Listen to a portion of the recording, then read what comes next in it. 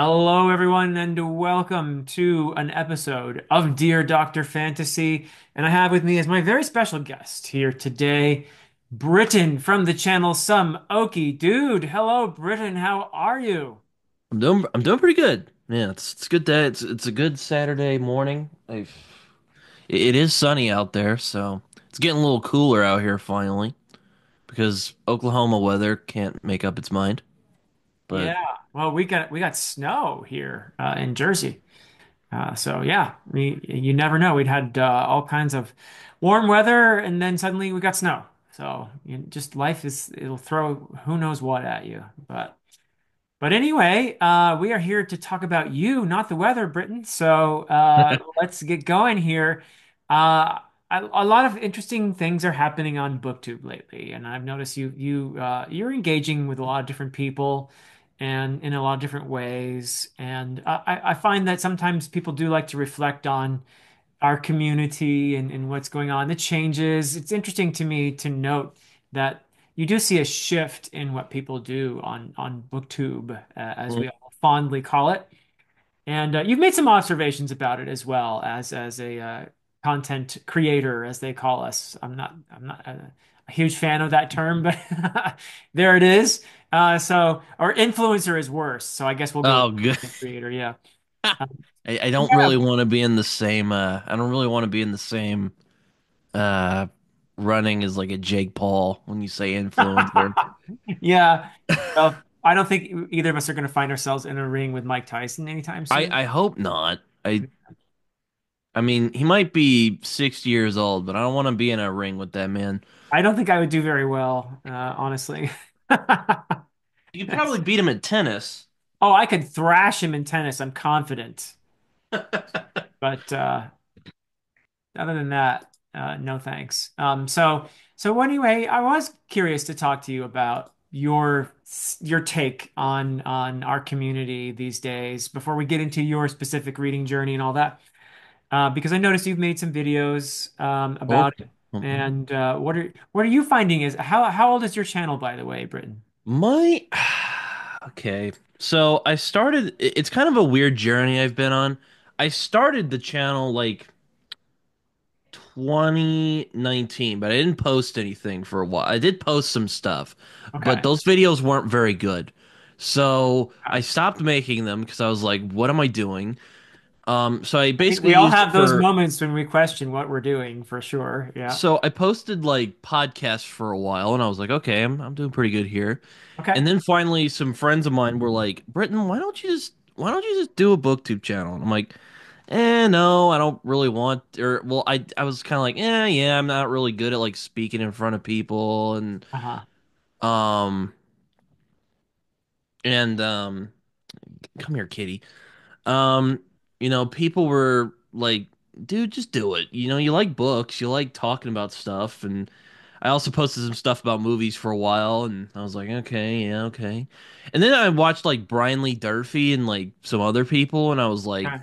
yeah, I I often say this, I'm like, God bless that man, because I'm like, if he can stand there and just BS about books for like 20 minutes on his iPhone, Yeah.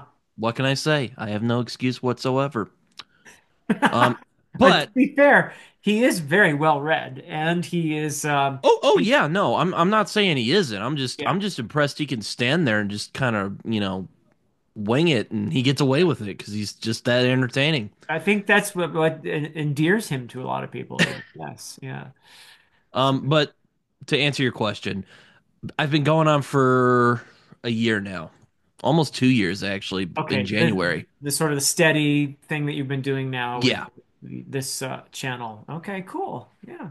Probably should have just said that, but No, no, the other give stuff is, you know what? The the cool thing, so you tried earlier and in your opinion, you you in some ways failed, but that's life, isn't it? As we just keep failing better all along until we, you know, either stop or feel like, okay, this time I failed about as well as I can fail. So I think I'll, I'll we'll call it good.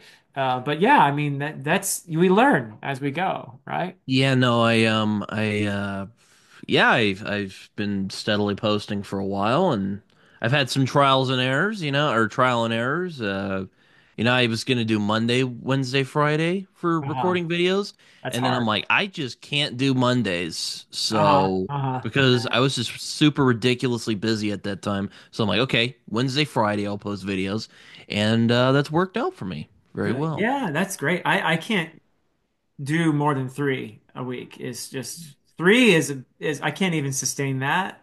I'll have periods when I do three videos a week for a while, and then just life gets too busy. And uh, two is really honestly the most comfortable for me. Uh, so yeah, Yeah. Um, and it's it's been good. And I have a little community now. It's ki- it's pretty not it's it's pretty cool. I mean, I was on I, I did I, I did a stream the other day and I'm like, no one's gonna show up to this.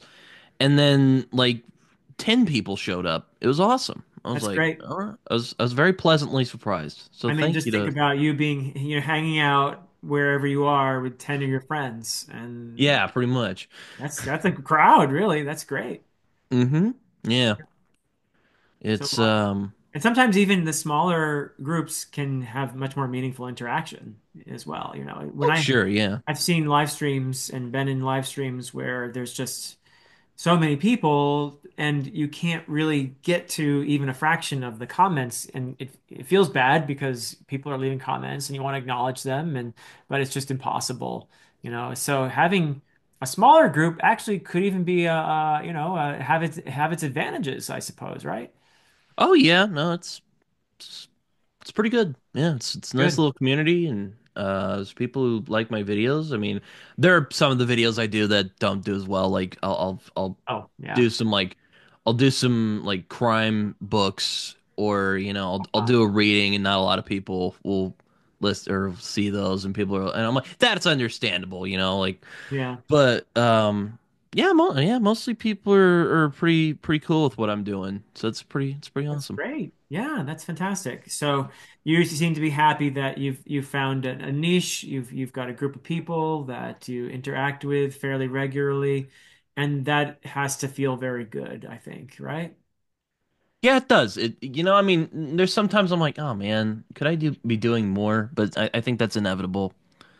I mean, I We're made a we're very bad at being content, aren't we? People in Yeah. Yeah. yeah. I made a video about that the other day, and people were like, you know what, Britton? That's just part of being a person. I'm like, you know what? You're right. Yeah. Yeah, it's You funny. know what? You're You can reflect like you just have been. Wow, I have this community. It feels great. These people I can talk to about books. This is why I'm here. And then you can think, compare yourself to someone else or something like that, which is a mistake, and say, oh, well, why can't I be this big? Or why can't I do this or that? And and we just seem to be very bad at at uh, being happy with where we are, right? I mean, I recently just got to 500 subscribers, which I was that was that was my that was my big goal for this year. I'm like, I'm all right. I'm gonna get to 500, and um, hopefully I'll get there. And luckily, we did get there. It was it was kind of funny yesterday because my subscriber was going on a journey. It was at like 502, and Okay. then it went to like 499. I was like, crap. Oh gosh, I hate And then it went back to like 504. So I was like, all right, this is I I don't get how this works. Yeah, I've seen that before where you hit a, a milestone and you put out an announcement and I made it to blank, you know, whatever, and then suddenly like 20 people unsubscribe. So it's just that, People are like, what are these? cr- What are these books he's talking about? Like, right? what? Right. What Uh, or someone sees your announcement and says, "Oh wait, I'm still subscribed to that idiot." Oh, let me make sure, you Yeah, it's like, oh, yeah, So, but yeah. okay, that's I, I love what you're saying about um, feeling part of something and and and the satisfaction, fulfillment you get from that.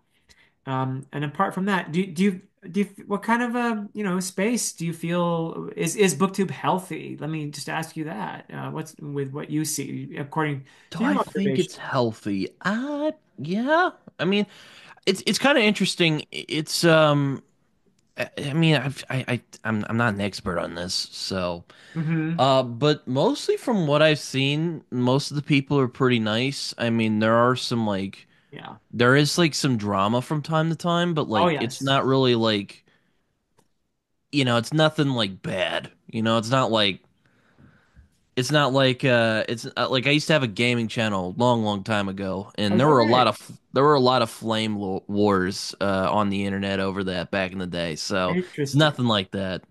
This is uh far more low key and, and mostly everyone gets along for the most part I do, I mean, I'm completely biased in this, but I've always felt that people who love books just must be, you know, nicer than the average people. I, So, I guess so it's you know I mean I mean I'm I'm sure I mean there are there have been contentious things about books but you know it's oh yeah.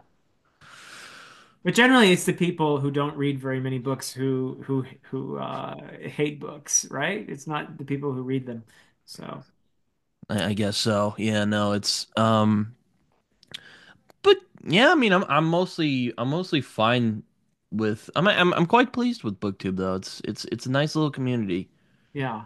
Um, you know, Well, I agree. Well, let's talk about what brought you here then, and uh, your your reading journey and some of the formative reads that have been part of your life. And you know, if you were to explain yourself through the books you've read, what would be some of the most important titles? So, going on the premise that you are what you read, Britton, walk us through uh, your reading journey, if you don't mind. you know it's it's interesting. I actually wrote a um I, I wrote an essay for my um for my uh creative writing class talking about this Cool. and You're um prepared. Yeah. a little bit a little bit Um, but it, it's it's weird. Like it's kind of weird because like my parents aren't big readers. You know, it's it just kind of it just kind of happened that way. Like my dad will read like you know self help books and stuff. Like he likes you know he also likes a lot of religious literature. Like he likes reading, well, not just the Bible, but he likes reading s stuff about the Bible. He's, he's he, he, he you know he, he likes he's very enthusiastic about that stuff. Um, and my mom like she reads sometimes, but you know it's you know, it's it's whatever she really feels like, you know. Like Uh-huh. she read Twilight back in the day. She got me to read Twilight, so that was that was fun. right. Um, So, how did you become a reader then? I just, I don't know. It's like it just kind of happened. I well, to be honest, I started reading because I always liked illustrations. You Uh-huh. know, I always always liked like back in, you know, I I liked paintings and and drawing or not drawings, but like you know, I would I would I would read like illustrated classics back in the day. Like I read Oliver Twist when I was a kid. Okay. Yeah. Um, that was a big that was a big one for me. It's one of my favorite stories of all time. Yeah. Um, and it was one of those that had illustrations in there, and I would I would look at the illustrations, and um, I really liked the illustrations. And then I'm like, well, there's stories in here that are pretty good too. So yeah, there you go. Um, performative reads. Oh man. Um, I read a lot of ghost stories when I was a kid. Okay. Um, was a big fan of those. I um, I really uh, I'm really quite fond of of those. Um, I read The Adventures of Tom Sawyer when I was a kid. Okay. Yeah. Um, it was actually for a book report, but I really enjoyed it. Me and my dad read it together, and I was like, "Wow, this is really good." Um, But if you mean like fantasy, uh, I read like the Magic Tree House when I was a kid as well, which is which is like a which is like a time travel with like Arthurian influence because Morgan Le Fay's in it for some reason. Okay. Like she created the Magic Tree House. It's really it's it's quite strange. But um, I read that. I read Captain Underpants, you know, because um that uh I also read what else did I read growing up? Um, I read Scary Stories to Tell in the Dark, if anyone remembers that. That's Oh, I'm um sure there would be people who do. um that is um basically a bunch of spooky stories and uh really scared me when I was a kid because the illustrations, at least in the old version, are absolutely um you, you can look them up. It's they're really quite um grotesque actually. Wow. Okay. Do you Um like horror still? Is that a genre uh yeah, I do. I don't read it as much. I on on my channel I, I usually uh wait till October to read horror related stuff. But Uh-huh. um Spooky season and all I that. still. I, I still like them. And um, but yeah, no. I I- also the Time Machine by H.G. Wells. I read that when I was a kid. Yeah. Um, which is what still one of my favorite science fiction stories of all time. Um, and then like when I got in the middle school, that's when I read like Lord of the Rings because people were like, "Oh, the movies." And same thing with Harry Potter, and then I read them, and I'm like, "Oh, these are very good." Oh, so you watched the movies first in both cases. Uh, I kind of read the books and watched the movies at the same time, if that Oh, okay. makes sense. Yeah. So yeah, you know the other, you know, yesterday I was at the bookstore actually, and um, there was someone who was talking about, oh, someone was recommending me to. He was talking to his wife or girlfriend or whoever she was talking about um Lord of the Rings, and she's like, "Oh yeah, I watched the movie and it was it was really slow, and I had to just Oh, the I movie to was slow Now I had Oh to I had to I had to like hold back. A, oh man, if you think that's slow, wait till you read the book. But I, I didn't say anything. okay. It was it was really funny though. Um, My goodness. I mean, then wow. Okay. but then I read those, and that was really what turned me into like a like I don't know. I've always been interested in the fantastic, but like those were the books I was like, okay, I, I like this. I like this fantasy thing. Yeah. Well, let's let's for a moment linger on this uh, woman at the bookstore who was saying the Lord of the Rings films were were too slow for her. I feel like people have, um, and I don't know. I mean, I, I I'm gonna sound like a crotchety old man here, um, but I do feel like that uh, scrolling on the internet, you know, these little things here. uh, that uh, people spend half their lives on now, just flipping from one thing to another, getting their little hits of uh, you know adrenaline or whatever it is they get from it, have actually contributed in a big way to the atrophying of our attention spans, uh, and that uh, people, even people who are readers Oh yeah, it's true. are have I mean, become more and more uh, expectant. Their expectations about stories depend in large part on these influences, these screen influences, where something like it astounds me that someone could find the films The Lord of the Rings to be slow, but I, I I wish I could say I'm I'm completely surprised, but I'm not. Uh, just because so few and and we we people who read, we are a small minority of readers. I mean, the fact of the matter is, that, did you see the, uh, the the statistics for the literacy rates? They have the numbers for 2022, I believe. oh, I did It not. it's actually really. Uh, I, I may get some of this slightly wrong, but uh, something like 54% of adult Americans read at a literacy level of uh, sixth grade or below. Uh, Jeez. 54%, uh, sixth grade or below. And then you have the number of illiterate Americans is more than like the, of adult Americans who are illiterate, incapable of reading is something uh, uh, close to actually over uh, 20%. Well, that is that's worrying. It is really Um, worrying. I Um, mean, so 20% might not sound like that much, but that that's a lot of Oh, people still. I mean, there are countries in Europe where the literacy rate is 100%. And Oh, so wow. for us Okay. to have, yeah, I mean, and our literacy rate used to be higher We're than it is like uh, now. we're like the we're like the leader of the free world. We we should be doing better, guys. Uh, I mean, our literacy rates are declining. Oh, here I have some of the stats actually. So it's 21% of adults in the United States are illiterate in 2022. Oh, 54% of adults have a literacy rate, uh, have a literacy level below sixth grade. Um, 45 million American adults are functionally illiterate and read below a fifth grade level. That's just, whoa. Okay. And 44% of the American adults do not read a single book in a year. Um, so, yeah, I mean, that's the numbers are really disheartening. Um, but I do feel that at least some of this is attributable to this thing here. Not my phone, eh, but, uh, you know, the internet and people.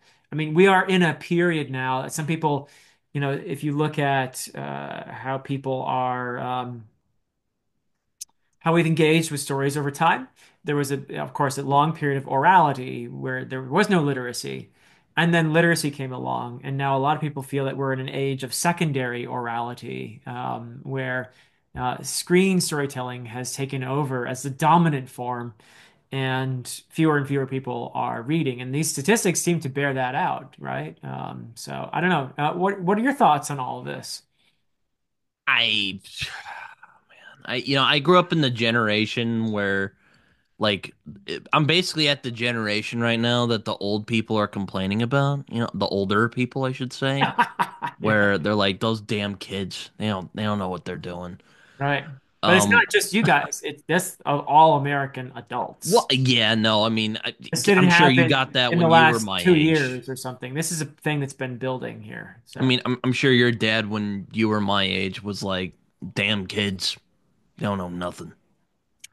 But uh, probably, but with the internet though, you know, you can do, you can do, yeah, good Lord, you can do all sorts of stupid. You know, I was just talking about this last night. Well, uh-huh. last night as the recording of this Yeah. with um E.L. Montague, who um is a science fiction writer. I was doing Yeah. my science fiction show, and we were talking about this last night. It's like, man, you know, I, he was like, you know, if the inventors of like the 1920s came to today, they would be both amazed and disappointed. Like amazed that like we've grown this far, we've gotten this, you know, technology, you know, we've got these things. We can we can talk like this on on the internet. Yeah. Um, but they would also be disappointed because like we're still doing the same stupid stuff we've been doing since the dawn of time. Well, I'm Just afraid too that the, the biggest development that gives me major anxiety for our future. And I realize that um, I'm swimming against the current here, but the AI, whole A thing with AI, where, yeah, of course, AI in many ways I don't even realize probably makes my life easier. But the fact of the matter is, when people start applying AI in creative realms like art and mm, writing, mm-hmm, yeah. I think that we are throwing something very important away, um, that we are surrendering the best of humanity to uh, machines that uh, cannot possibly understand the significance, nor can they appreciate uh, the importance of the act of creation for, for people is what has made us human. Uh, you know, Mm-hmm. and I think if we hand that over to AI, then we are really shooting ourselves in the feet uh, in a big way. Uh, and I see yeah, no, people, I I see people rushing into this like it's the greatest thing ever, you know. And I'm thinking to myself, this is this is very bad. This is very bad. Well, you know, it's it's interesting, and maybe it's just because I'm younger, and you know, I've I've read a lot of science fiction, Uh-huh. um, and I've I've consumed a lot of science fiction uh, in other mediums. Um, I, I'm actually quite fascinated uh, with. Well, I guess it's not technically AI because it's still just a machine performing a function. It's not really sentient yet, but Uh-huh. I won't get into that. Um, I'll try not to get too heady today, but um, Oh, feel free. Go ahead. um. But uh yeah, no, I, I I do agree that I I am concerned about using AI responsibly, you know, because there's a lot of people who are already using it irresponsibly, you know, It, like it seems from the beginning. I mean, the people who created AI from the very start started by stealing from, uh, never mind copyright, anything else. They just started by stealing the writing and the art of actual legitimate people who make their living from this. Yeah, So I I feel like it started Michael Sh illegitimately. Yeah. I think Michael Chabon actually um uh he he sued somebody for using AI like There have been so many writing like him. lawsuits. Yeah. Yeah. So it's it's really it's really fascinating. Like I find it really fascinating uh, as at the same time as concerning Yeah. because you know I've grown up reading like science fiction stuff and you know it's like we're we're here now. Like We I've really seen are. those I've Yeah. seen those like big Tesla cars riding around and I'm like holy crap we're in the future. Yeah. Yeah, well, we're at a point now where uh, HarperCollins, uh, the publisher, has uh, announced that it intends to sell its authors' works to AI. Uh, and that was shocking for me uh, because I feel like we ought to be the people involved in the production of stories ought to be the ones taking a stand, you know, saying no AI in creative realms because you're taking something fundamental about our humanity away from us if you're taking away our ability. And yeah, you can still go ahead and write stories, but how can you compete? Uh, the future, you know, is going to be how can I compete? I'm thinking as a writer, and I'm sure artists Mhm. and stuff feel the same way. How can I, as a writer, compete when AI can churn out a story like that, you know? I And mean, it's definitely uh, it, it's definitely a concern. I'm not saying most like, ooh, consumers are not, let's be honest, most consumers are probably not going to care, uh, whether it's It's produced by AI or by me taking 20 years to write a trilogy, you know. I Uh, mean, I, I I guess I agree with like Simon Pegg. I mean, if you don't know who Simon Pegg is, for anyone who doesn't know, he he's an actor. He's done Shaun of the Dead, the that whole trilogy with Edgar Wright. He's been in Mission Impossible, but he's basically like, you know, a machine doesn't really understand what it's like to be human, right? or at least the machines we're at right now. So like the like a story a machine can come up with will never be as like profound as one as as people can, which Well, here's the it, thing, though. I think we're already at a point where AI can write stories that people cannot distinguish between a human written from a human written story. Uh, we're, we're if we're not there, we're just about there, and we will get there. Um, and so the the the the issue then is okay because there was a time for the last couple of years where I could easily say, yeah, the, the AI stuff is garbage. I can see it's very formulaic. It's very, but the problem is it, it's getting better. It's getting better all the Yeah, you time. did a you did a video um Yeah. wasn't it like riffing on like Steven Erickson style or something? Yeah. So uh, AP right. Canavan, A Critical Dragon, and I did a Mm-hmm. video uh, more than a year ago, uh, maybe two years ago, uh, about whether or not AI could write like Steven Erickson, and it was it was not even close. It was laughable. Uh, the- what AI came up with when you when you prompt Chat GPT back then, at least, to write like Steven Erickson, it came up with horrible, just schlock. It was awful. Um, it wasn't even close. It, it was vaguely recognizable as fantasy, but it was incredibly formulaic and very un-Steven Erickson like.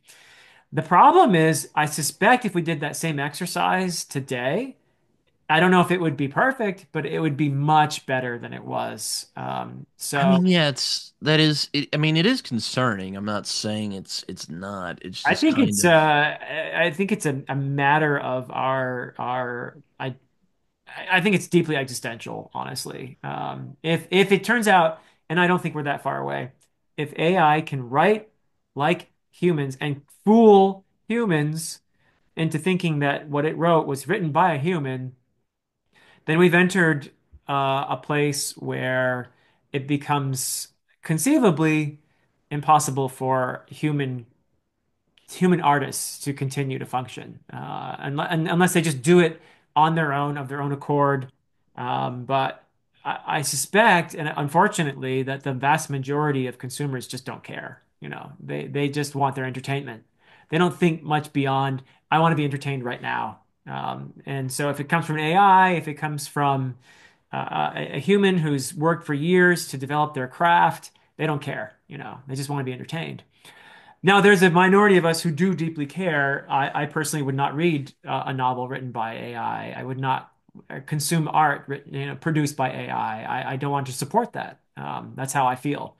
Um, but I don't know. I, I, I uh, that's suspect I'm in the tricky. minority. That's tricky for me. It's Yeah. it's always moral. It's always moral conundrums out there. It's hard. It's hard to cope nowadays. Yeah. I, even, I Um, mean, there is a moral component to it for sure. Uh, because, as I I'd be said, like, I wanna, I wanna see what it would do, but like this feels wrong, you know. At the same time, ah, you know, Yeah, I'd be like I, I feel like we're just kind of like still monkeys with our curiosity pulling us into places that we ought not to go, you know. Um, but you know, Oh yeah, I have a, I have a thing called, I, I call it lizard brain, where I just am like, ooh, shiny, you know. yeah, I, Or uh, John Minton would call it John brain, which is uh-huh, But he was talking about audiobooks and he summed up like why I don't do a lot of audiobooks. It's good. Nothing, I have nothing against the practice. I mean, uh-huh, you want to use it or you have to use it because, you know, you're you're like Raph, you might, you know, be blind and you need to use audiobooks. Like nothing against that, but like I just get distracted real easily. You know, I've I've I'll be listening to something, I'll be like, "Ooh, shiny video over here." Like I did this on BookTube, you know? yeah, But, yeah. you know, Well, the, you, these are these are my anxieties, among others, for the future. Uh, but uh, I don't like AI. I can tell you that right now. I'm not a Fair fan. enough. Um, and at least when it's used uh, to replace human creativity, that's where I feel uh, we're uh, making a huge mistake. Uh, but but And I'll yeah, I would, I continue. would agree with you. Yeah, I, I, Yeah. I, I agree on that. It's it's concerning for sure, and that's probably understating it.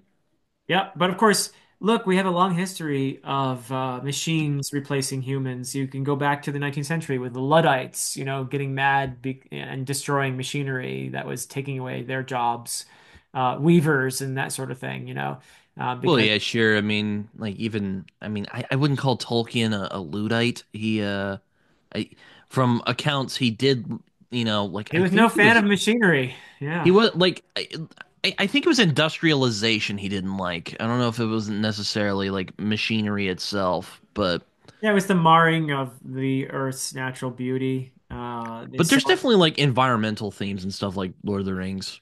emphasizing materialism over, you know, uh, uh, more reverence, let's say, uh, for for life. Uh, Yeah, yeah, I mean, he he was definitely, um, uh, in his own way, you know, uh, um, a, a rebel, uh, let's say, I guess. Yeah, like, you know, what are the bad guys doing? They're they're cutting down trees to fund the Right. war effort. Unless I'm thinking back to, I, I need to reread the Lord of the Rings at some point. I Well, and there you have the the whole scouring of the Shire too. I think that's where he's uh, yeah, which the to. movies which the movies unfortunately did not do, which is kind of Yeah, sad because yeah. um But I feel like Tolkien was most explicitly sending a message in the Scouring of the Shire. Um, when yeah, it's like it's like that in like The Dark Tower I want to reread at some point in Game of Thrones. So, oh yeah, all good worthy rereads. I'm I would say. I'm really bad at rereading though. So, No, not there's I'm so like many nice, as you say, ooh shiny. There's so many nice things to read. You know. Yeah, I'm always yeah, I'm always I, I I like to truck forward in my in my reading. Like Uh-huh. I indulge in rereading like from time to time. Yeah. Um but yeah, no, it's uh Tell me what you're loving these days. Let's let's let's move on to a happier topic. What what are you loving in terms of your reading? Whatever you want to talk about, and some of the stuff that maybe uh, you're doing on your channel as well while you're at it. well, I mean, I uh, I just recently put out a a reading uh 'cause I I do that from time to time. I'll be like, "Do I have any video ideas for this week?" Not really. Well, okay, I'll do a reading then. So I did a reading of uh, Blood Meridian on my channel. Um, what what books am I liking nowadays? Um, well, I I- I'm, I'm probably gonna spoil my my number one book of the year so far, but that is Kindred by Octavia Butler. Oh, great. Okay. Um, which I think is a brilliant book. Um, really, uh, I mean, you know, it, it's about slavery, so it's not gonna be like a heartwarming or you know Oh, yeah. affirming book. I haven't read it, but I've heard. I, I read um, Parable of the Sower earlier this year. I Uh, you know I thought about reading that, but I'm like, oh man, it's like I don't really want to. I'm really I'm real neurotic about you know what authors I read, unless it's like a series, you know. uh-huh. So anyway, I don't, it's I I read Kindred with my friend Darko from Kindles and Kicks, Yes. and um, it was really really good. I'm, I really enjoyed that book a lot. Well, I really liked it. We'll put it that way. He, by the way, he produced a, a wonderful review of that. I know he did. It was a brilliant video. And yeah. I and I I was like, and he's like, "Yo, bro, I'm gonna post up this new video before we do our conversation about it." I'm like, "All right, bro, I hear I hear you." And then he puts it out and it blows up, and I was like, "Oh man, dang it," you know. Yeah. Uh, we we joke about it, um, but it's a great video. It's, I mean, it was really interesting talking with him because you know, you know, I'm a I'm a white guy from Oklahoma. He's a black dude from Maryland Yeah. and you know we talked about it and it was really interesting and i really like how she plays with um i mean it's pretty cool because it's just like okay let's put a modern modern meaning the 1970s at this point to you know the 18th century or not 18th century 19th century um you know when slavery was was still going strong Yeah. and how would they react to that and it's really it's really fascinating i really i really enjoyed it, it's really sad and, and disturbing of course because you know slavery is is not a usually at least American version of slavery. I mean, I don't think any form of slavery is good per se, but um, American slavery particularly was um, really awful. It So was. It was. It was uh, made into enmeshed within the whole social structure. It was racialized. It was uh, and deeply and, and twisted into the the understanding of religion, even and, and science, and just every facet of society in, a way that uh, I think institutionalized in a way that you you probably would be hard pressed to find a, a parallel, actually. Um, there's always been slavery in human history, unfortunately, um, and all of it's horrible and bad. But that said, some of it's worse like than others. Yeah, yeah, that's that's a good way. I was about to say like there's like other ones that are worse than some. Like there's some like you know yeah. like well we talked about it in your uh Edan series. We did, yes, uh we did that we did on my it a little channel. Yeah, Um, but it was really interesting because she reflects on how things haven't changed so much as we might like to think. Not, yeah. not, we don't have people in bondage, and we're not like, you know, we don't have a system that's literally biased. Well, actually, Actually, we do. I, I was about to say, I was about to say, actually, you know what? I'm probably gonna get blasted for this in the comments, but well, actually, we kind of still do. But Well, I mean, it's not. that's kind of her point, though. It's like there's still if that if tension you're between black people and white people in America because this thing happened, and then we got rid of that thing after we fought a war. all you But have then to because all you have to because we is didn't like get rid of the leaders, like, you know, we didn't denazify the, you know, the South like we did in World War II. So there's still racism, and that's still It's marring us not just in the South, it's all over the country. Um, but uh, the fact of the matter is, all you have to do is is point out the the numbers. Uh, and the, the truth is, if you look at our justice system, uh, it, it- just look at the numbers. Don't have to believe me or, or you or anyone else.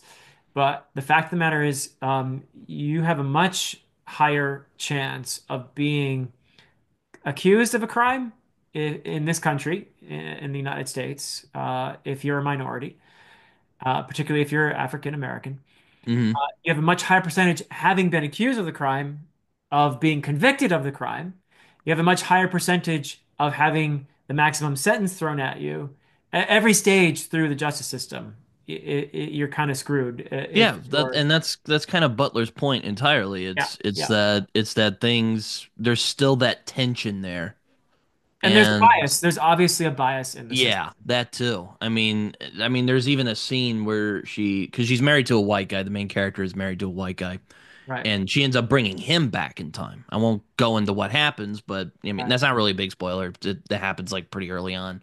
Yeah, yeah, But you know, it's like it's, you know, like she talks about she talks to her parents about her white husband right. and you know they're kind of like oh yeah white guy whatever you know and she's like it's crazy like it still it still happens like it even happens with black people and and I think it's the most efficient book I've read all year like th- like it was one of those books where I felt like there wasn't anything that felt out of place which is very rare yeah. Wow. um Powerful, I hear too. I Yeah, mean, I mean, the only thing is that like they're a little blasé about like, oh, this weird thing's happening, but you know, that's like a very minor. That did irritate me a little, but it, you know, because if I were transported randomly back to like the South during the 19th century, I would be kind of like, what the hell's going on here? Why? But you know, um, I also read Lonesome Dove this year. I did that as a buddy read with um with Matt from Matt on Books and and Tori and and Joanna and Darko joined us again and some other people, Joseph. Um that was really good. That was that was another one where I was like, this is phenomenal. I'm kind of kicking myself for not reading this earlier. Yeah. What did you love Uh, about it? Without spoilers, of course. Um I uh I I call I I really like his eye for uh McMurtry, I mean Larry McMurtry's eye Ah, for um human drama, as I like to call it. Uh, he's very he's very interested in people, and um, like you know, Mike put it uh, from Mike's book reviews put it quite well. It's he does the slice of life stuff really well, where you're really fascinated with what's going on. Uh-huh. It's also really funny, and I also like the bait and switch, where it kind of starts out as this kind of lighthearted, you know, you know, good old boys kind of getting getting around, and then it just turns into like this really sad, you know, tragic thing, and you're like, oh wow, this is like this was not what I was expecting, and it's it's really it's really quite it's really it's really brilliant for most of it, aside from a couple of scenes, but I won't, I won't go into that. Okay. Cool. And what else have you been enjoying? Um, I also, I, I I bet you'll appreciate this. I just recently read The Things They Carried by Tim O'Brien, Oh, and that brilliant. also left an impact on me. Those, Yeah. um, that was really good. I, uh, I really, Vietnam War veteran who wrote stories set during the, the Vietnam War. Yeah. yeah, it's, it's, um, it's kind of his. It's it's kind of interesting because it, it I mean I don't compare people to Vladimir Nabokov very often, but it but um, I mean, not really in like the literary mastery, but like just in how he plays with your perception and just Uh-huh. like how he makes you question things. hmm And he makes you like question, like, okay, what is going on here? You know, um, really plays with like the suspension of disbelief, I guess, because like there are several things in the story that in in this in the book that um just aren't true to life. Like for instance, he didn't have a daughter. He it like um well until he was like older. He didn't have kids. Um, Huh. but like it's just like again, it's kind of like Lolita. It's really hard to, you know, I don't, I don't know if you've read Lolita, but it, it's really um it's really hard to put to words, but it had like a it had an effect on me. Huh. Interesting. It I've might be like it might be like the closest thing I've I've encountered that depicts what it's like being in a war. Yeah, That well that's because like the thing. It's a I, I don't I don't think I'll ever understand it because I've never been in the military and well I don't plan to go because that's for people far braver than I am. But um as I like to say, but it's um but I was blown away by it. I thought it was fantastic. Yeah, it's interesting to me that um, those of us who write, and you also are writing, um, and hmm a lot of us who write, uh, and I have written fantasy, and I have battles in my my books, and I've never been in combat, um, but uh, I do feel that there is this uh, an, a layer of authenticity to what somebody like Tim O'Brien is doing, and it's not always the case. Like uh, Tolkien famously, of course, was in World War One but his battles uh, in uh, first of all, he doesn't go into much detail with his battles, uh, but they tend to be um, idealized, let's say, uh, as in much of fantasy. You know, you don't get blood spurting, and you don't get uh, you know guts, you know, Yeah, falling it's out of it's somebody and, and slithering onto the ground and all that stuff. yeah, it's very like like Tolkien's version is kind of like, you know, reading like Tennyson, you know, like Charge of the Light Brigade. It's very like not not stirring. It's not as stirring as, as A that bit poem is, but romanticized. Yeah. A Yeah. little bit, though he doesn't like he doesn't like back he doesn't like back away from like, you know, the trauma it can inflict on people. Yeah, there's loss and, and all of that too. Yeah. hmm But No, the but um but but what you get with O'Brien, I think, is this as much as people like you and I who've never been in combat uh, and and have never served in the military, as much as we can understand that experience, I think Tim somebody like Tim O'Brien allows us gives us that window, uh, he so also speak. like I'm sorry, I don't mean to interrupt you, but like I, I, he like he also like inverts a couple of attitudes about like war, whether it be pro or anti-war. Right. Like, you know, for instance, like, you know, he doesn't just go war is hell, though war is hell, is as he says in the book. But Right. like war is this weird, you know, strange thing that's like that's bizarre and kind of funny and kind of really sad and life is cheap, as Joe Abercrombie would say. Yeah. Um, you know, and uh, or there's the one of my favorites of the of the collection anyway, or if, if you want to, I don't know what you'd call things they carry, It is a short story collection, really. but um, the one where he talks about how he made the decision to go over there. You might, you know, in like other books, you might think, mm, you know, this guy's, you know, this guy's really brave for, you know, sucking it up and going over there. No, he derides himself as a coward for going, you know? That's an interesting point because he gives, I think, one of the best insights I've ever seen into the idea of courage or why a soldier does what a soldier does, why they stay there, even though you're daily in fear of your for your life. You're afraid of dying constantly. But that is not the soldier's greatest fear. The soldier's greatest fear is actually fear of cowardice, fear of shaming hmm oneself fear of of uh, of running away in the midst of combat.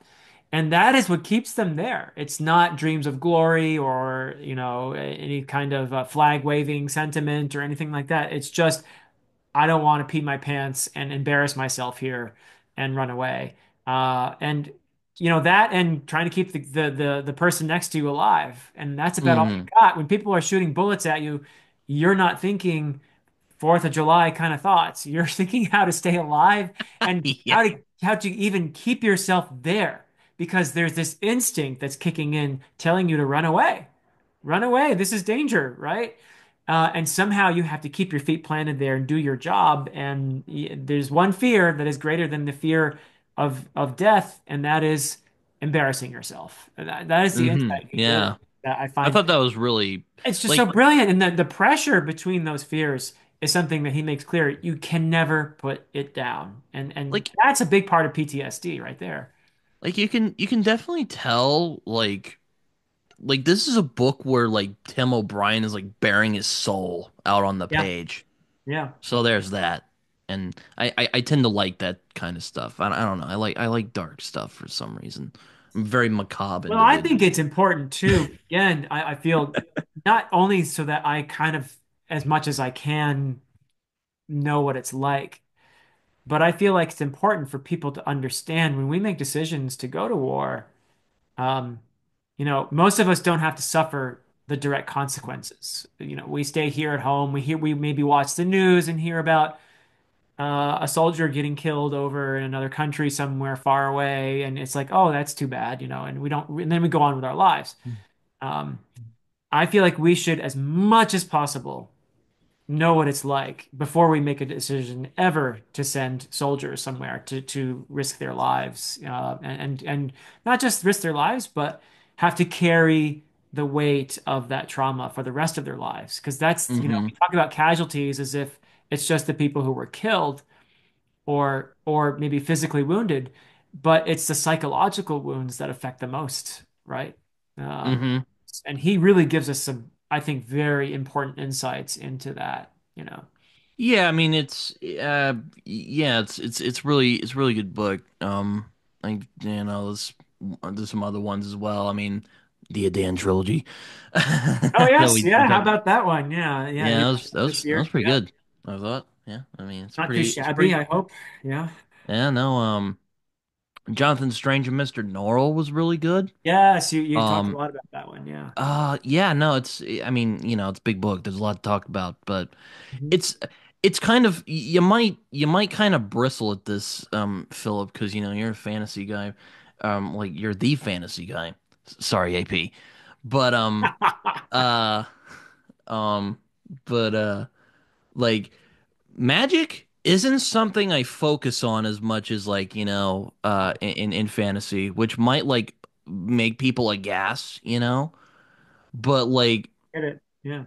That's probably why uh you like like Abercrombie, for example. You know. Well, yeah. I mean, I'm, I'm, I'm I'm like, I'm kind of interested. You know, kind of what Le Guin says, the the feel of the world, the language of the world. I like Yeah. that, or I'm, I'm more interested in like the ah, what, what, what do you call it? Um, well, aside from the vibe, I'm sure there's a much more classier word for it. But I'm that that's Atmosphere. Atmosphere. yeah, yeah, something like that. Like world building and lore and stuff. I'm really fascinated with, Uh-huh. but.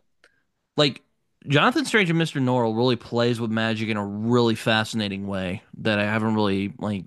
She basically kind of goes like, okay, what if magic was real? Like, how would people react to it? Yeah. And it's really interesting. is, you know, kind of um, Napoleonic era, you know, uh, late hmm 18th, early 19th century kind of uh, uh, era. But yeah, but there's magic. Yeah. Yeah, I mean, it's really interesting. You know, you're just like, what are you gonna, you know, what are you, um, you know, how are people gonna react to this? You know, it's, um, it's, uh, and you know, it's, yeah, it, it's, it's a really good book. It, it took me a while because it's, it's a long book, and I, I, I would, I, I, before I, I, I, try really hard not to inadvertently scare people away, but like, it's not like. It's not like the densest book in the world, but it is a bit long-winded because like that's how they talked back in that time. I mean, like read a Dickens novel, like you know they they like talking. The, prose is rich. Yes, uh, I think. Um, yes. Yeah. Um, it, it was interesting reading that. I read Piranesi last year, and then I read Very different book. Yeah. Um, which actually is kind of funny. I read Piranesi around this time last year, so um, Yeah. there you go. Um, but yes, they're both very different, like in terms of content, but also style, because like you know, Piranesi is very like Not well, more stripped back than Jonathan Strange and Mr. Norrell for sure. Oh, definitely. Um, and it's written. Uh, I don't think it's a spoiler, right? Uh, just to say how it's written, uh, like uh, in a journalistic way. Let's put it that way. Um, Well, yeah, no, it's in like the first page of the book. Piranesi. you're gonna know that it's a journal from the beginning. Yeah, Yeah, no, the very first um, page. Yeah. yeah, it's yeah, no, that was that was a good book. What else I I really enjoy this year? Um, read a book called Only Killers and Thieves, which I have back there. That's a western set in Australia that I really liked. Oh, cool. Okay. Um, I'm I'm sure there's other ones. It's still called a Uh, Western, even if it's in Australia. Yeah, it's it's weird. I don't know. It's, don't don't come like don't like, I don't know. I'm not an expert. There should be a name for it, I feel like. Uh, like uh, I don't know. The Outback or something, right? Out the Outback Western. Yeah, that's that's actually that's fun. Yeah, I like that. don't. What are some other fantasy I read this year? Oh, I just finished uh, Moonwitch Spider King not too long ago. Finally, it it took me a couple months, but okay, cool. um, And that was that's that's by um, the author Marlon uh, uh, Marlon James. Yeah. James. Yeah, Um, cool. So you've been wanting me to read the uh, the first installment there. You were recommending it to me uh, yes. I did. Uh, I mean, and the second one's very interesting too. It's um, uh, it's really um. Yeah, I mean, w- another reason I started my channel was like I there were certain books I had read that not a lot of people were talking about, so I'm like, all right, I guess I'll I'll give it a shot and I'll, I'll give these books promotion and see if people Yeah. take to it, and if they don't, they don't. Um, and um, that, that's worked out. There's people who are like, hey, you have pretty fun content, and I'm like, thank you. Um, but yeah, Black Leopard, it's really interesting because I've met a lot of people who, um, and I'm actually thought about making a video about this, you know, like how to read it because it's very, Oh. and that's why, that's why I recommended it to you because I thought it would be interesting to see your reaction because, you know, you're very used to like, um, because, you know, you're a medievalist. Mhm. Um, and you know, you've, you've read a lot of like, you know, Beowulf, of course. Oh yes. Um, you know, the poetic Edda, I'm sure, and um, you know, you've read like Tolkien and and very much in that like I don't want I don't know if I'd call it tradition, but like yeah, I guess tradition of fantasy.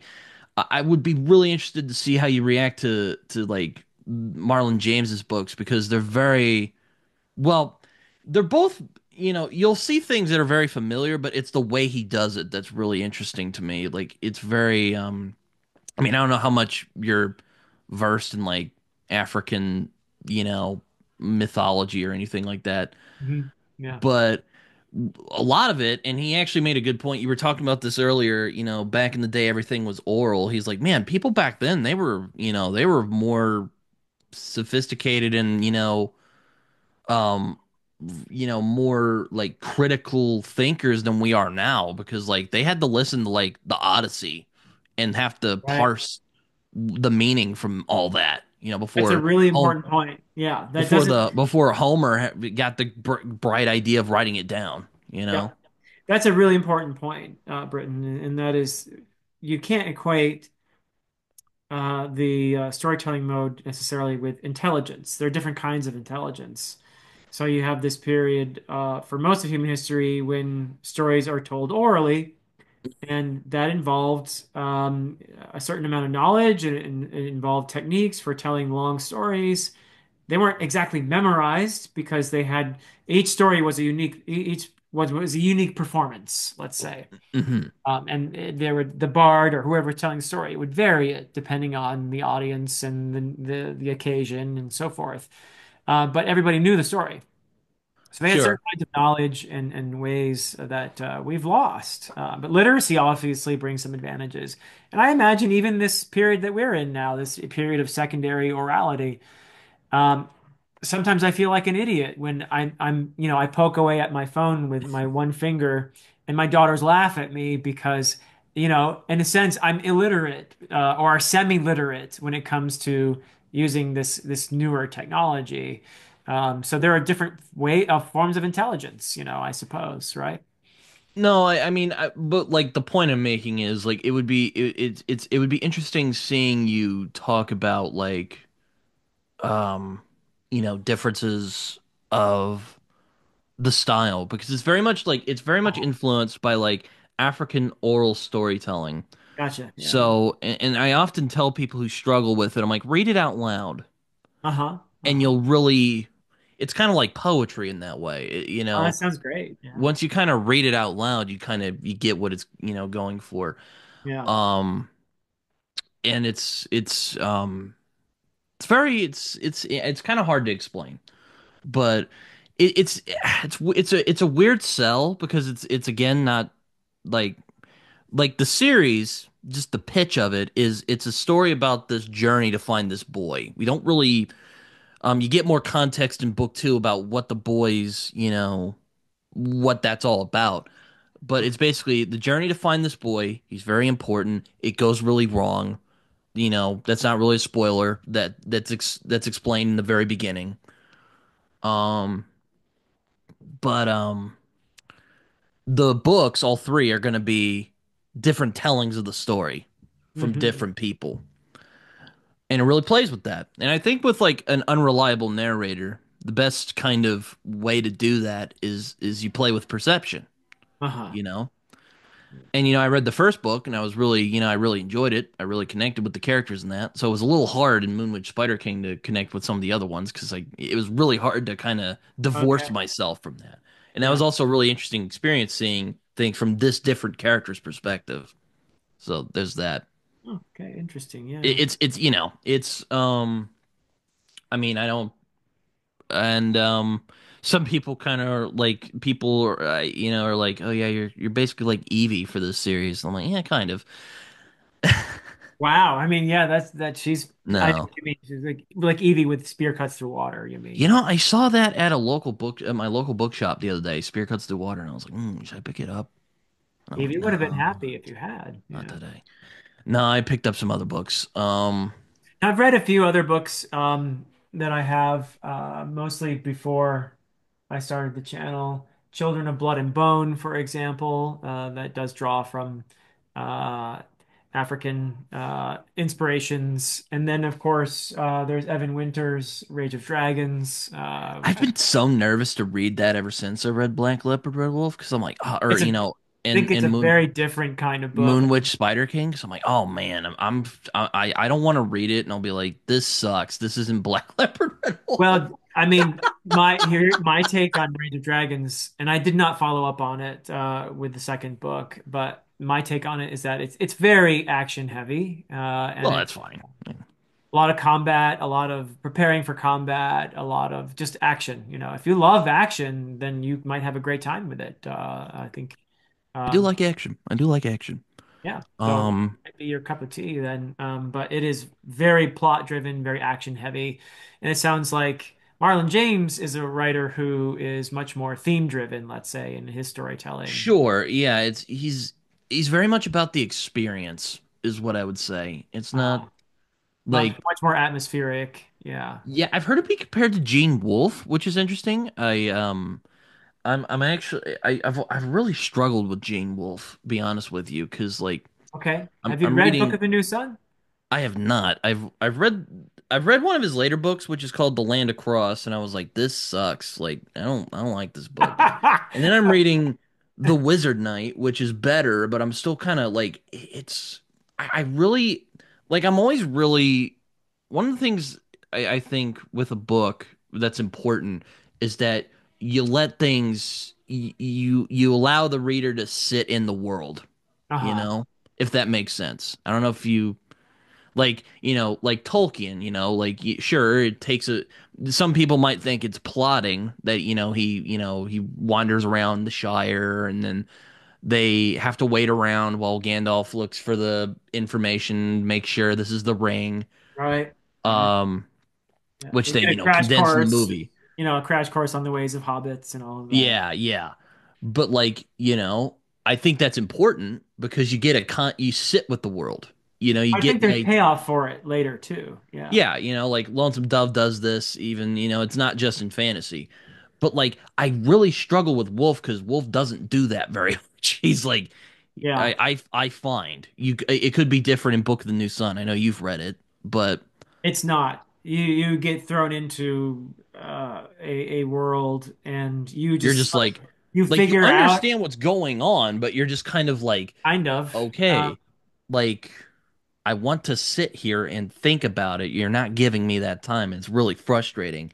you you sort of Um figure things out or you don't as it goes along. And um, yeah. Maybe he's not for me. So sorry if if Sam Wise watches this. If I Sam Wise watches this or Matt on Books, it, it's not it's not jiving with me right now. Maybe I'll read it again because I, I know a lot of people say Gene Wolfe is good on a reread. So I'm going to reread Book of the New Sun before I read uh, Urth of the New Sun, I think is my plan anyway. But yeah. yeah, I, I heard they're doing a buddy read for it next year. Um, Yeah, John is sort of spearheading that. Uh, so that that should be fun. Good luck. Thank But you. like, I don't know. I just, I, I guess I like books that like sit with the world, and like, I mean, Marlon James is good at this too. Like, he'll have moments where he, I mean, you know, it's weird. Like in Moon Witch Spider King, there's more like, you know, he's throwing stuff at you because like, you know, I would say that Black Leopard Red Wolf is more of like conventional in terms of like not, I mean, it's not conventional at all, but like it says said, you know, instead of like he say to me in in Moon Witch Spider King. Uh-huh. I'm really sorry if I'm not if like I've only been up for like an hour, so um That's okay. no, what I'll I'll just be like, you know what, read it and you can text me and be like, what's going on? I'll be like, well, I, I warned you. But no. Um. I don't mind that. I don't mind being uncomfortable during a read. Uh, no, but like it's it's it's it's it's like it's such like a I mean it is I mean it's it's kind of a lot of it is subjective at the end of the day. But um it's um it's very much um what I I struggle with Gene Wolfe because like he won't sit with the world. He won't go like, that's okay, very true in Book of we're gonna we're gonna we're gonna sit for a moment and you know It doesn't do like a Robin out. Hobb or a Tad Williams where you you steep. I haven't in. read Hobb yet either. I, Oh, Derry gives me Derry gives me hell for that.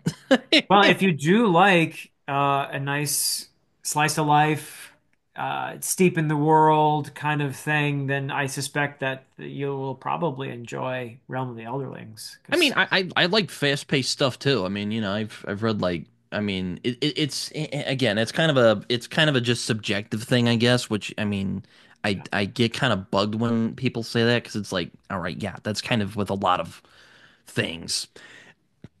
true. You know, you're just like, good Lord, you know. I mean, uh, I mean, you know, some people like Lord of the Rings and some people don't like Lord of the Rings. That's just the, you know, that's the I, gist of it. so, uh, speaking of, you know, things that you might want to read, like Realm of the Elderlings, uh, to make Derry happy, hopefully, and No, I do yourself. want to read that at some point though, because you know it's it's because you know a lot of people like it. It's popular. You know, I mean, it took Oh, me a while to get beautiful. It's to. it's top three for me. Uh, I mean, you know, it's kind of like the first law. I mean, I kind of I kind of pushed it off for a few years, and then I finally read it. I'm like, okay, this is great. I feel like an idiot for not reading this earlier. So what are you looking forward to? Let's let's finish with that. What are some of the things in that you will be covering in the future of your channel, things that you're looking forward to reading, that sort of thing. What am I? Oh God. Um. Well, you know, I've st I, I I generally start thinking about what I'm gonna read in like 2025 in like October, maybe Okay. September at earliest. Because like We're I don't know. November now, so fair We're in. November now, so I've been thinking about it a little bit. Yeah. Uh, there are a couple books I would like to get to. Like um, there's uh, like it's it's been kind of um, it's just been kind of formulating like. I- I'm kind of hoping to go on a pre-Tolkien uh kick next year, Oh, so okay. I'm hoping to like pick up some books that were written before Tolkien or not like before Tolkien's time. I guess they were like some of them will be um in some of them were peers with with Tolkien, I guess, like Okay. uh Lord Dunsany and and Hope Mirrlees with um Lud in the Mist and King of Elfland's Daughter respectively. I'm hoping to read those. Cool. Um I'm hoping to do Gormenghast next year. I was gonna start with that I this year. I just I hope to get to it next year as well. Yeah. I just didn't get to it, unfortunately, because one, I read Jonathan Strange and Mr. Norrell, took much longer than I thought for me to read. And then I read Moon Witch Spider King, and I'm like, well, this is also pretty dense. Not gonna read it. I'll I'll I'll I'll shove it over to I was gonna read it this month. I was gonna read Titus Groan this Uh-huh. month, and then I'm like, nope, that's not gonna work. Yeah, cool. You're gonna go back to the old days. If you want to go back even further to an author who was instrumental in inspiring Tolkien, then you could read William Morris as well. Yes, I've I've heard of William Morris. I'll, I'll uh, perhaps I'll give him a, a shot at some point, but um it's ah, man, I just ah, um what else am I gonna read? Uh well, I'm gonna read more Marlon James because I've done his fantasy stuff now. I have a brief history of seven killings. I'm thinking about doing that. Cool. And I'm I'm I, I like trying things on my channel. Like this year I, I did a I did a little show called um What's the Big Fuss, which is where I had my beloved audience give me a a a book that is popular for whatever reason, and I was gonna read it. Okay. That was a terrible idea because um I am really bad at, at delivering. I did the first and like if I didn't care for it, I would stop it and if I and if I liked it, I would keep reading it.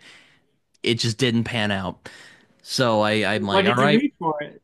I read The Fourth Wing and I was going to read Malice, but I just didn't get to it. And I'm like Okay. And then I I made a community post. I was like, "Hey guys, sorry, I'm just gonna stop this because this just isn't working." But you're gonna resurrect it. Maybe we'll see. Uh, But you maybe did read Fourth someday. Not not right now. Not right now. But maybe someday I'll, I will. Okay. But Okay. um, I might do more audiobooks next. I'm gonna I'm gonna try this thing they do called uh, immersive reading. Oh yes, yes. Um, with Brief History of Seven Killings, because there's some people who've told me that like, hey, Marlon James is quite good read aloud, and I would agree. Okay. So, um, I, I I'm curious to see what it will be like if I listen to it as well as read it. So we'll see how that goes. Um, what else? What else? Uh, The Broken Sword. I'm hoping to read by Poul Anderson, Oh, okay. Yeah, yeah. which, um, funnily enough, came out the same year as uh as Fellowship of the Ring. So I'm Yeah, I'm you're really you're doing a lot of older stuff. That's great. Yeah. yeah. Um, I, there's there's some newer fantasy stuff I I I'd like to do. Uh, let me let me look around. Um. Let's see. Uh, hmm. What else? What else? Uh, let me. I have a list of books here. I'm gonna. I'm gonna look. I'm gonna look here. See if I find anything. Well, that's a lot already. That's uh, already a pretty busy year for most people. No, it's yeah. No, it's yeah. It is. It's um. Uh, it's. I'm scratching myself here. Um, there's. Pro. I mean, there's um. Probably gonna read some more like crime novels as well. So there's probably that. Uh, what Cool. what else? Um, I, I swear I'll probably read a modern. I I did start um Josiah Bancroft's um Oh, Books of Babel. Books of Babel. I was gonna read that series this year, but let me tell you, this this year's been really sucking up a lot of my time, so I just haven't really um been are really. you started Senlin Ascendants then? I, I read the first book, yeah, and I, Okay. I liked it. I didn't I didn't love it as much because you know, let me tell you, Alan is Alan from Alexandria is very good at, at reading really good at hyping you up about things, He and is then very I'll good. One of the best. and then and then I and then I and then I read it and I'm like, okay, this is pretty good. You know, this, this is Uh-huh. fun. Um, I just didn't I get around to the rest. series. Maybe maybe I'll maybe I'll continue series. with it. I don't know. I don't know yet. Okay. Um, uh, I'm considering checking out The Language of the Night by uh, Ursula K. Le Guin Okay. because I picked that up. The, I've been wanting to read Le Guin for years. I just never got around to it. Um, and I've gotten like uh like people have like you should read Earthsea, and I'm like, okay, maybe I'll do that. I mean, I would Um, join that uh, in that recommendation. Yeah. yeah, um, Spear actually. I I, I just looked back. Um, this book right here, Spear by Nicola Griffith. Okay. A lot of people, a lot of my my friends, uh, Liam and Raph were telling me about it. I'm not, I'll admit, I'm not a big like Arthurian guy, but like I've heard it's really good. So I've heard it's like Okay. you know, and it's it's it's interesting. Um, though If I, I have Liam, Liam softened. and Raph are recommending it, it's probably older than I'm guessing. Oh no, this came out. Uh, this came out. Um, think like either last year or like two years ago. Oh, so ago. it's very recent. Okay. All right. Yeah, so that it's new. But um, Cool. yeah, I mean, it's I've just kind of bounced all over the place. You know, it's it's usually what I do. Uh, That sounds great. It sounds like you're probably you're, you're gonna have a, a fun 2025. I certainly I hope so. I hope so. I mean, you know, I I it's it's kind of weird. You know, I have like these grand ambitions for the year, and then they just Oh, kind of? And like, as I'm like, I'm gonna read Gormenghast, I'm gonna read Jonathan Strange and Mr. Norrell, and then I'm gonna read Moonwitch Spider King. I read two of those books. I managed to get to two of those. good. Two for three is a So good thankfully, uh, I mean, you know, uh, so I, you know what? It's actually been much better than I thought. It's just like, you know, it's I'm really hard on myself, as I imagine we all. Yeah. So are we all.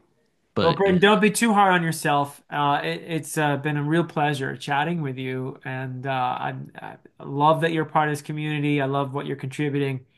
and it sounds like you're going to be reading some really cool stuff. Uh, so I wish you the best with all of it. And everybody go check out Britton's channel. It is called Some Okie Dude. And uh, he does all kinds of not only reflections on his reading, but some great conversations over there as well. Oh, You're always talking to somebody, oh, aren't you, Britton? oh, oh yeah, that that reminds me. There's some there's some other stuff. Um, you know, like I said, I was gonna do um Uh-huh. uh the uh I'm I'm also doing a, a new series on my channel. I'm gonna announce it at the end of the year, but it's basically about fantasy, kind of Okay, like my science fiction series I'll be doing. Something to But look out um for. Yeah. very very much looking forward to that. I'm hoping that'll work out. Well, I hope so might too. involve you. I might involve you in those shenanigans, but we'll we'll see how it goes. Okay, well, let's see what happens then. Yeah, I'm But yeah, intrigued. sorry. But no, But you no brought that up. So Yeah. brought that up. I'm like, oh yeah, that. Ah. Yeah. So there you go. Perfect. Well, I'm glad you you uh, snuck that in there. And uh, once again, everybody, check out Britton's channel. And uh, thank you for watching. And until next time.